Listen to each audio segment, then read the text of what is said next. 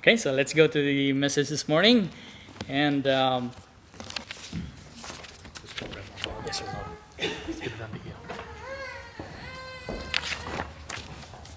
So the text would be in Ezekiel chapter 3, verses 17 to 19, and that's been read already. I'll just read it again. Ezekiel chapter 3, verses 17 to 19. Son of man, I have made thee a watchman unto the house of Israel. Therefore, hear the word of my mouth, and give them warning from me. When I say unto the wicked, Thou shalt surely die, and thou givest him not warning, nor speakest to warn the wicked from his wicked way, to save his life, the same wicked man shall die in his iniquity. But his blood will I require thine hand. In verse 19, Yet if thou warn the wicked, and he turn not from his wickedness, nor from his wicked way, he shall die in his iniquity. But thou hast delivered thy soul. Shall we pray? Most precious Heavenly Father, Lord, thank you for your word, O God. And Lord, I just uh, pray, dear Father, that you would be with me, knowing these lips, dear Lord, that I might be uh, the instrument, O God, for your word. Lord, uh, fill me up with the Holy Spirit. Open the hearts, Lord, of your children here to be receptive of your word, that your word, that your will may be done, O God. All these things I pray in Jesus' most wonderful name. Amen. So here, um, God was telling the prophet Ezekiel that he is the watchman unto the house of Israel. So watchmen uh, were guards in the, on the olden times, in the Old Testament, their cities are uh, protected by walls. And on top of it are watchmen. So uh, they, they act as lookouts upon the land. They would be looking out in the distance uh, to see if uh, there are any unusual activity. But most especially, they will warn the people of an impending attack from their enemy. That's the job of um, the watchman. So here, we read that God's call to Ezekiel was to warn his people of God's coming judgment. And in the same, uh, in Acts chapter 20, verse 26 to 27, the same uh, words that Paul applied to those words to, uh, to God's call to warn the lost. Now, every Christian, every born again, you say, let's, we are born again, we are blood washed, we have trusted the Lord Jesus Christ, our personal Savior. Let us remember that we are watchmen, watchmen for the souls of those uh, lost. So this morning, I'm going to uh, give you four reasons why there is an urgency of evangelism. So the title of the message this morning is The Urgency of Evangelism. So I told you earlier that uh, we need to go to the Philippines because there is a need. There is an urgency for uh, the gospel to be uh, given to those who are lost. So why there is an urgency of evangelism? Evangelism is telling someone uh, telling people about the Lord Jesus Christ, telling them how to have a home in heaven, telling them to, uh, to for them to prepare when, that when they die, they will have a home in, in uh, heaven.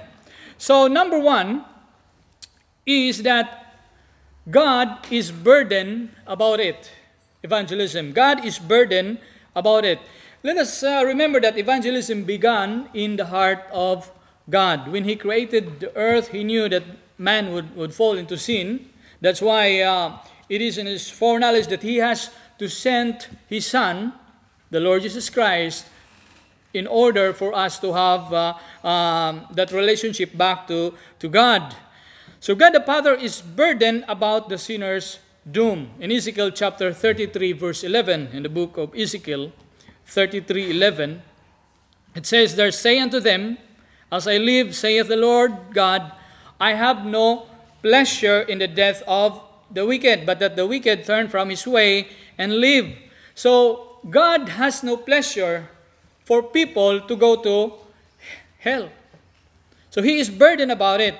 In John chapter 3 verse 16, very familiar verse, for God so loved the world that he gave his only begotten son that whosoever believeth in him should not perish but have everlasting life. God so loved the world. It is us. It is the people out there that God loved, that He sent His only Son to die on the cross of Calvary to shed His precious blood for us to be reconciled with God. For us not to go to that place called hell. And in 2 Peter also, chapter 3, verse 9, in 2 Peter, the Apostle Peter was telling us, The Lord is not slack concerning his promise, as some men count slackness, but is long suffering to us inward, not willing that any should perish, but that all should come to repentance. God has no pleasure in the death of the wicked.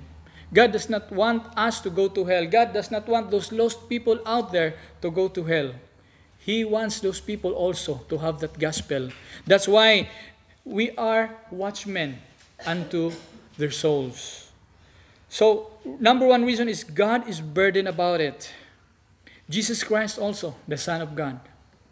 Jesus Christ is burdened about the sinner's doom. When Jesus said in Luke chapter 5 verse 32, Luke 5:32 in our Bible, it says there Jesus said, "I came not to call the righteous, but sinners to repentance."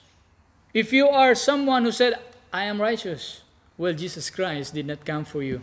Because Jesus Christ said, I came not to call the righteous, but sinners to repentance. The Lord Jesus Christ has that burden of the sinner's doom. In Luke chapter 19, verse 10, Luke chapter 19, verse 10, it says, For the Son of Man is come to seek and to save that which was lost. Jesus Christ, Jesus Christ came into this world to die on that cross of Calvary to shed his precious blood for sinners to come to repentance. God the Father is burdened about it. Remember that. God the Son, Jesus Christ, is burdened about the sinner's doom. Even in John chapter 10, verse 11, Jesus Christ said, I am the good shepherd. The good shepherd giveth his life for the sheep. Jesus Christ gave his life for the sheep. God the Father, God the Son, Jesus Christ, is burdened about the sinner's doom and also of the Holy Spirit. God the Holy Spirit. By the way, why is it God the Father, God the Son? We believe in the Trinity. Some, some religion out there, they don't believe in the Trinity because they said uh, Trinity is not in the Bible, but 1 John 5 7, it clearly states about the Trinity, that there are three that bear record in heaven. So, God the Holy Spirit is burdened about the sinner's doom also. It's not only God the Father, it's not only God the Son, Jesus Christ, but also the Holy Spirit. God the Holy Spirit is also burdened about the sinner's doom. John chapter 16, verse 18. In John 16, verse 8, sorry. John 16, verse 8. Jesus said of the Holy Spirit, And when he is come, he will reprove the world of sin and of righteousness and of judgment.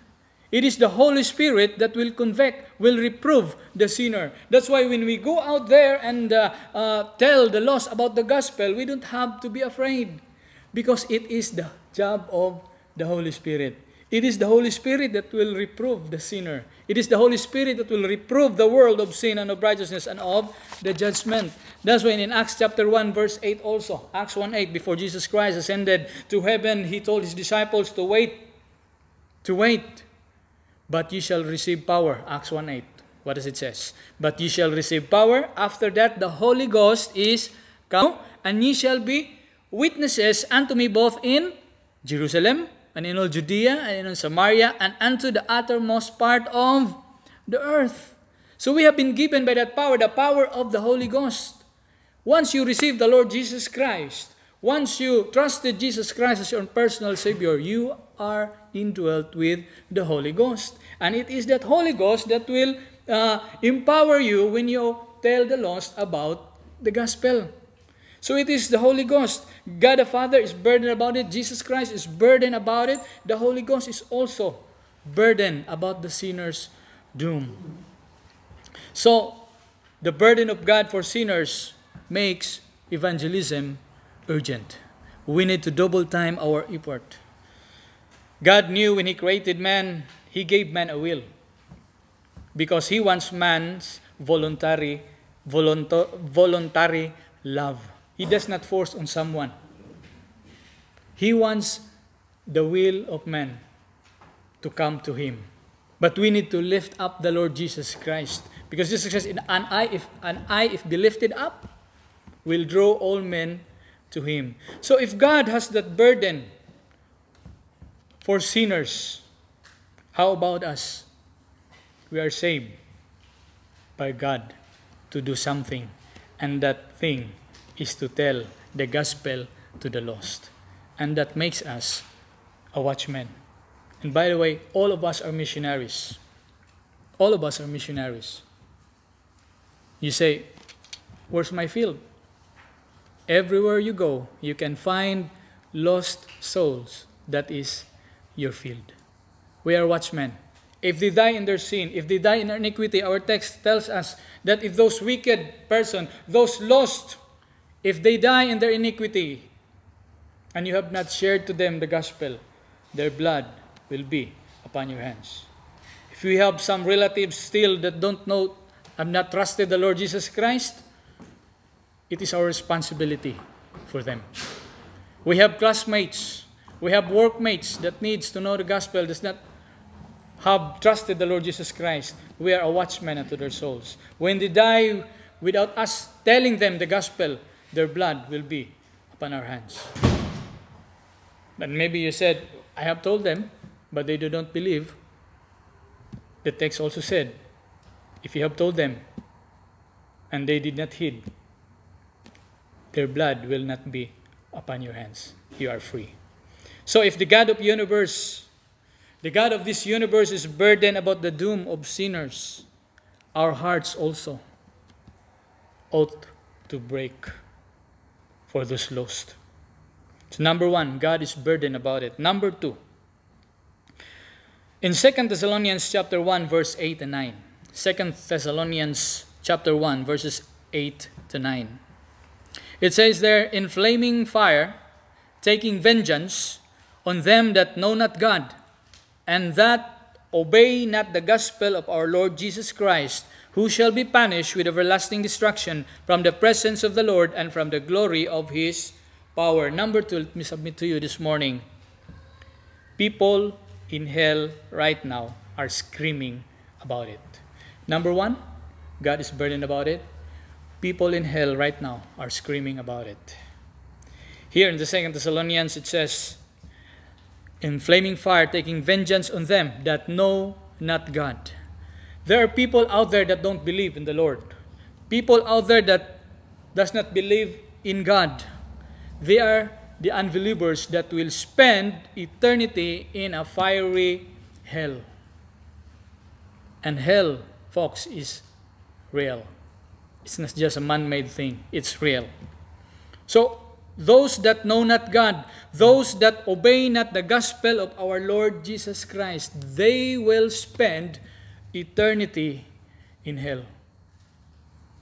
So, this urgency of evangelism is screamed from the fires of hell. Unbelievers will spend eternity in hell. The religious but lost, they will also spend eternity in hell. Matthew chapter 7, what does it say? Matthew 7. Matthew chapter 7, verse 22 to 23. Many will say to me in that day, Lord, Lord, have we not prophesied in thy name? And in thy name have cast out devils, and in thy name have done many wonderful works. And then will I profess unto them, the Lord says, I never knew you. Depart from me, ye that work iniquity. Plenty of people out there, me also in the Philippines, they claim they are religious, but they are lost. Now, today, it's September 29 in the Philippines, there is what we call uh, a feast of San Miguel. San Miguel is a, patron of uh, the Catholic Church in Iligan and they will they are celebrating the fiesta over there. They said they are religious. When you ask those Catholics in the Philippines if they are saved, if you ask them, Are you sure you go to heaven when you die? Most of them will say yes. And if you are the soul winner, if you'll just stop right there because because they said, ah, okay, they're going to they said they're going to heaven. But if you continue asking them, why, how do you know that you are going to heaven? And then you will know that they don't have the right gospel because they will just tell you, well, I have, when I was small, I was baptized. I have already uh, have the, my first communion. I have completed the seven sacraments. But it's not the seven sacraments that will bring us to heaven. It's only our faith, our trust in the Lord Jesus Christ. Our faith in His shed blood on the cross of Calvary. So there are people that call themselves religious, and Philippines is considered one of the uh, most religious country in Asia because we've been under by uh, Spain for 330 years. That's why 95% of the Filipinos are Catholics. So they say they are religious, but they are lost. This verse in Matthew chapter 7, verse 22 and 23, they said, Lord, we have prophesied in thy name. Maria Theresa have done good works. She prophesied in the name of Jesus Christ, but she is lost. Those people are the religious. They said they are religious, but they need the real gospel. And the gospel is the death and the burial and the resurrection of the Lord Jesus Christ. So unbelievers will spend, in, uh, spend eternity in a fiery hell. The religious but lost, they will spend their eternity in hell. And hell is a place of torment. Hell is a place of torment. Just go to Luke chapter 16, verse 23 to 24. Luke 16, this is a very uh, familiar verse also about the rich man and Lazarus. And some said, they said, this is a parable. No, it's not a parable. It's, it's real. In verse 23 it says, And in hell he lift up his eyes, being in torments. This is the rich man. And seeth Abraham afar off, and Lazarus in his bosom. And he cried and said, Father Abraham, have mercy on me, and send Lazarus that he may dip the tip of his finger in water, and cool my tongue, for I am, what? Tormented in this place. Friends, hell is real.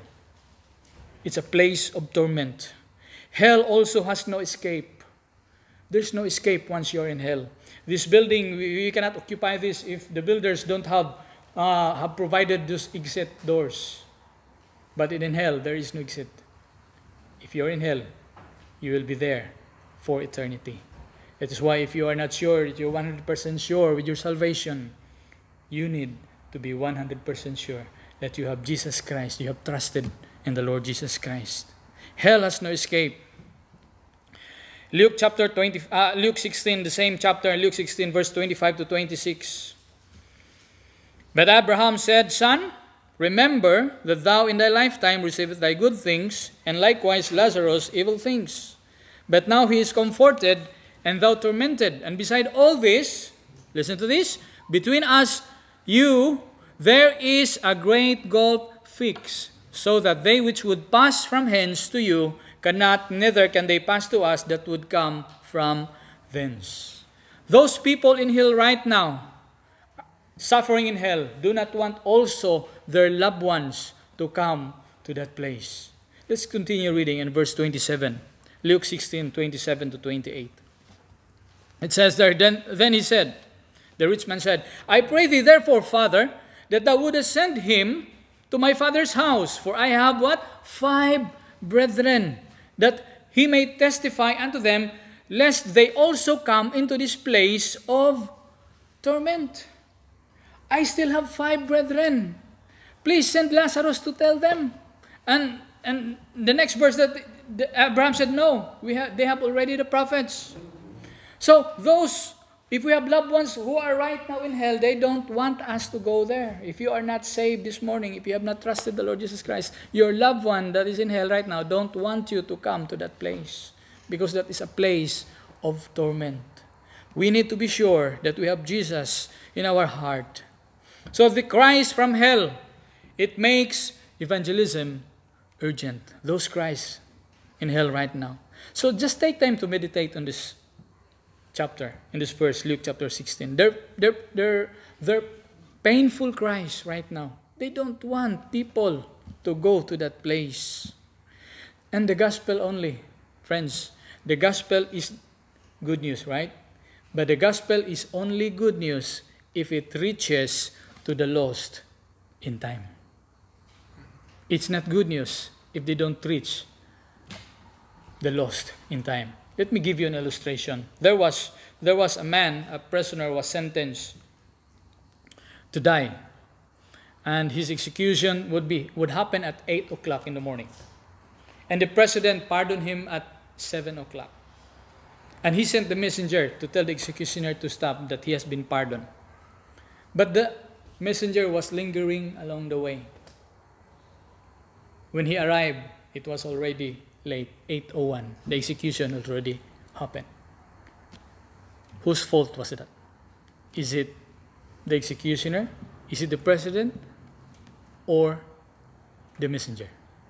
It's the messenger. And we are the messenger of the gospel. We are the watchmen.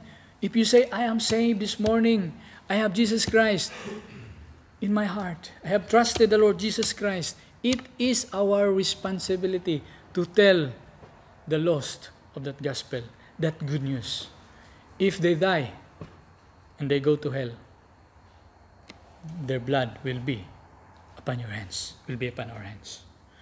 So the gospel is only good news if it reaches the lost in time. Number three, God is burdened about it. Number one. Number two, the cries from hell, people right there are screaming about it, about evangelism. And thirdly, the Holy Spirit that is within us is urging about it. I've said earlier, once you receive the Lord Jesus Christ, you have that Holy Spirit in you. And it is that Holy Spirit that is urging us to tell the lost about the gospel. So evangelism is also urged by the Holy Spirit. We all knew that our body is the temple of God and that the Spirit dwelleth in us, right? 1 Corinthians chapter 3, verse 16. 1 Corinthians 3.16, it says, Know ye not that ye are the temple of God? And the, the Spirit of God dwelleth in you. So the Holy Spirit, it gives the inner urging in Acts chapter 8, verse 29. Acts 8, 29. This is about the Philip, uh, Philip and the eunuch. Acts 8, 29, it says, Then the Spirit said unto Philip, Go near and join thyself to this chariot. Now we see here in this verse that the uh, eunuch was, all, was reading the gospel, the gospel, the book of Isaiah. But the Holy Spirit told Philip, Philip, go near to this eunuch and explain to him the gospel. So, yes, giving out gospel tracts is good. It's okay. It's still the gospel. But it is more better if we explain to them the gospel. Because of this verse, the Holy Spirit said, Philip, go near to the eunuch. Because the eunuch said, How can I understand except someone will explain it to me? Am I right? So it is the Holy Spirit that gives us also that inner urging. You need to tell this lost about the gospel. Have you experienced that? You, you have been with someone that you know that he or she is lost.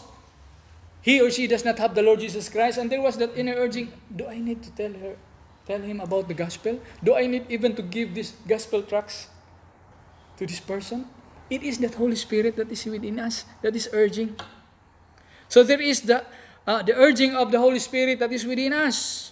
The Holy Spirit also empowers the believers to witness. Acts 1.8, we have read it earlier. Acts 1.8, But you shall receive power, after that the Holy Ghost is come upon you, and ye shall be witnesses unto me both in Jerusalem, and in Judea and in Samaria and unto the uttermost part of the earth. Now let me sidetrack for a while. How do we fulfill, in this verse, the uttermost part of the earth? Okay, let's read again the verse. But ye shall receive power after the Holy Ghost is come upon you, and ye shall be witnesses. Talking to the believers, it is us. We are witnesses unto me both in Jerusalem. That's the city. Your city is Sunbury. Your city also could be your immediate relative, your parents, if you, if you have, still have parents that are lost. Your aunties, your uncles, your cousins, that's your city, that's your Jerusalem. Your Judea is the province, your extended families. And in Samaria, Samaria, Samaritans, the Jews had no dealings with the Samaritans. We all know that because the, the Samaritans are mixed Jews. They're sinners. They are the enemy of the Jews. In our life, do we have do we have someone that don't like us? Maybe our neighbors don't like us because they threw their garbage to us and then we threw it back again. that makes them our enemy. But you know what? They are our Samaria. They need to know the gospel. They need to have the Lord Jesus Christ. Jerusalem, Judea, Samaria, and unto the uttermost part of the earth. How do we fulfill the uttermost part of the earth when we cannot even go to the next state? This deputation, this, this, this give us the opportunity to travel first time in, from in our life for 12 years here in, in Australia. First time to go to Brisbane last last week, and last June we've been able to go to Tasmania. So our uttermost part of the earth, how can we fulfill this verse? It's giving through missions. It's giving through missions. Because every dollar that we give to missions, that you support those missionaries in the foreign field, you have fulfilled this verse.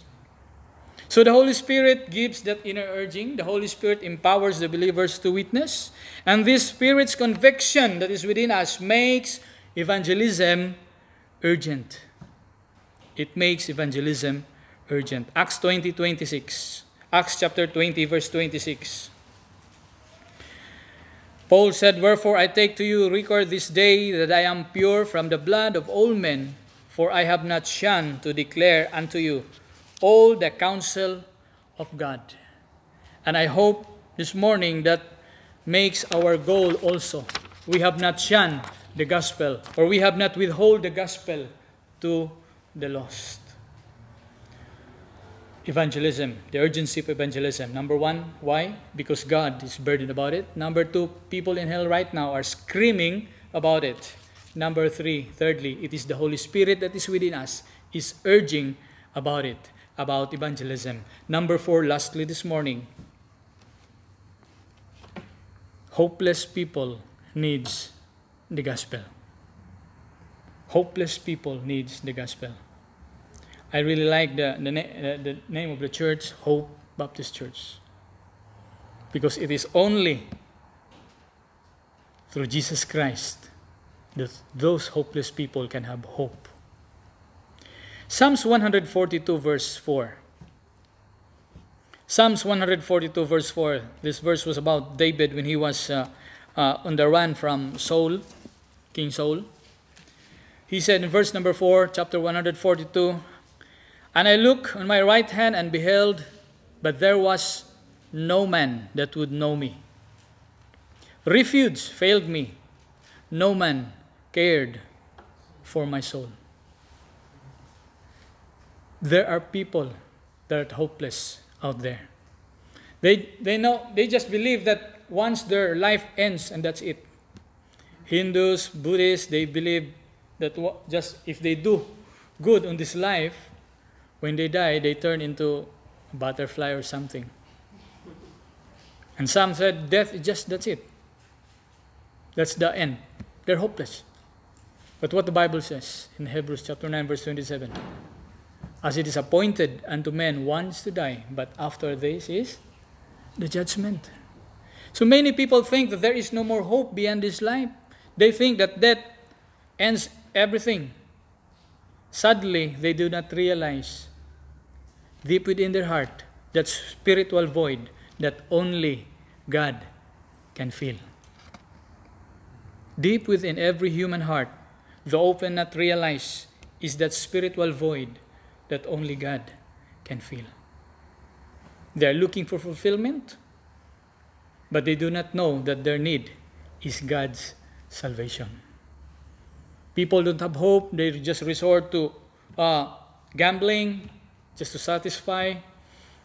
They, they turn to alcohol just to satisfy, but after everything, still they don't have hope. Only the Lord Jesus Christ, only God can fill that void in their life. So, we as Christians this morning, we are saved. We are tasked by the Lord Jesus Christ. God did not save us just to have the comfort of the chairs, to attend every Sunday. Yes, it's good to be present always.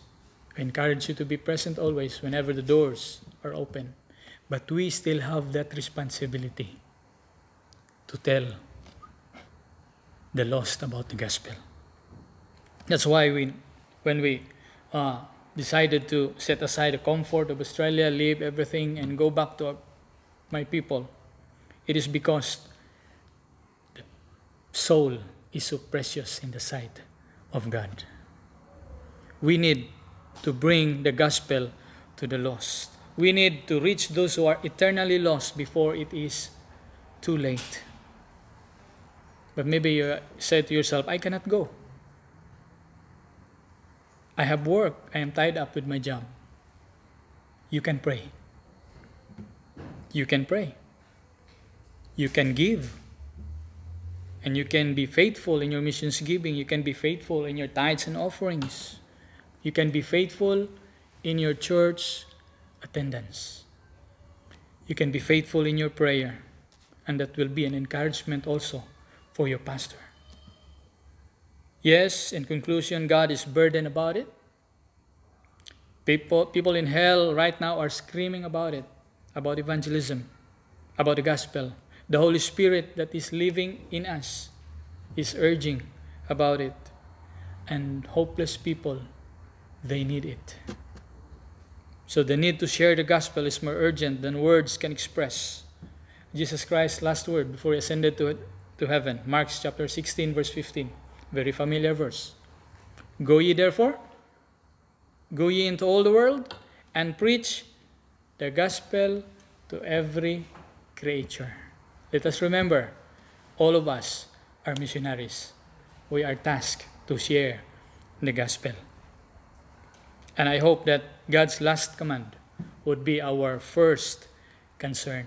The lost of lost sinners are depending on you and me this morning. If you are not 100% sure of your salvation, you need to be 100% that you have trusted the Lord Jesus Christ, that you have one time in your life acknowledged that you are a sinner, for all have sinned and come short of the glory of God. That is only through Jesus Christ. For the wages of sin is death, but the gift of God is eternal life through Jesus Christ our Lord. It's not through church membership. It's not through our good works. It is not through our righteousness. It is only through the Lord Jesus Christ. So if you're already a Christian, if you're a believer this morning, and God has convicted you, the Holy Spirit has convicted you to do something for the Lord, to do something more for the Lord. The Holy Spirit is urging you to be more faithful, not just faithful, but more faithful in the church. Listen to that still small voice. As Isaiah said, Here am I, send me. You don't have to quit your job and go to the mission field. Right now, everywhere you find lost people in your workplace, in your area, in your neighborhood, you are a missionary. Tell the people about the Lord Jesus Christ. And let's do it without delay. Let's do it in full obedience because partial obedience is still disobedience for God. Thank you so much for listening, Pastor.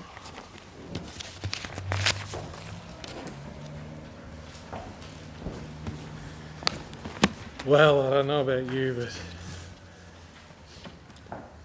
there's a few um, few things that brother Arnie mentioned that um, that uh, I noted down, and when he said in that first point the burden of God for sinners makes evangelism urgent, and we know that our Lord died for the sake of the lost, and it's so important. It's it's primary. It's the absolute most important thing in the world that we can do. There's nothing, nothing else that should be standing in our way. If you're saved, there's nothing else that should be standing in your way. Another one that he mentioned, he said, the gospel is only good news if it reaches the lost in time. I don't know about you, but that really convicted my heart. You know, that it is. It's only good news if it reaches. It's too late otherwise, and that makes the gospel urgent. And on this last one, he mentions God's last command should be our first concern. I mean, that, that, that summarises our duty. That summarises our work as those who know the Lord, love the Lord, and that we will grow in our burden for the lost. And we need to be growing in our burden for the lost. Nothing else should be taking priority over the top of that. Nothing should be. And if, and if something does, then your priorities are not in their proper perspective. Brother Arnie also mentioned there's so many different ways that you can actually partake in the work. Prayer prayer. Oh, we need to be people of prayer. You know, there, there is principalities and powers that, that, are, that are moved by our prayers. How that works, I don't know. Why that has to work, I also don't know. Why are we privileged with this work of the gospel? I also don't know. But we are. We need to pray. Pray for the lost. Give to those who are actually doing the work. Support the ministry of the work. Support the ministry of the church without taking away the responsibility that you already have within your own families. That's also vitally important. But everything about your life and your work needs to be wrapped around this because you won't be spending one moment in heaven that you won't be thinking, I could have done so much more. To be honest, when I think about the, the tears that the Lord is going to wipe from our eyes in heaven, I thought this there can't be any tears in heaven. You know, it's just not that doesn't we're supposed to be all joyful. Honestly, I reckon the moment that we're there, it's going to be regret, potentially regret. What could I have done more for the gospel? Could I have actually spent my life for the sake of the gospel of Christ? That's so important. Let's pray. Father, we do give you thanks. What a wonderful blessing it was this morning to hear the word of God, to hear it preached, dear Lord, that we might be able to understand and to know, to convict our hearts, dear Lord. And I pray, dear Father, if there is one sinner here who has heard the gospel of Christ, let him know, dear Lord, that a simple cry to his Saviour would save, would save. I ask and pray, Lord, that you continue to be with us and bless us abundantly in Jesus' wonderful name. We give you thanks and praise. Amen. Amen.